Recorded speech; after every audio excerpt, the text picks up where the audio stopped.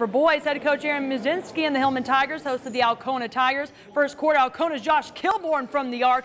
Look at it spin around the rim three times before settling in for the bucket.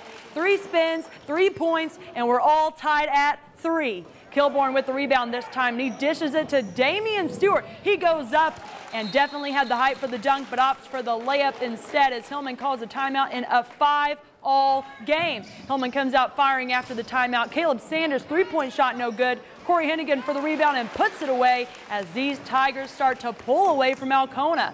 Hillman's Nick Tatatua has been a force all season long. He scores on this inbound from the corner as Hillman tops Alcona 56 to 54 in the battle of the Tigers. Henigan put up 25 points and 12 rebounds. Hillman improves to 3 and 2 with the win as Alcona also becomes 3 and 2 with the loss.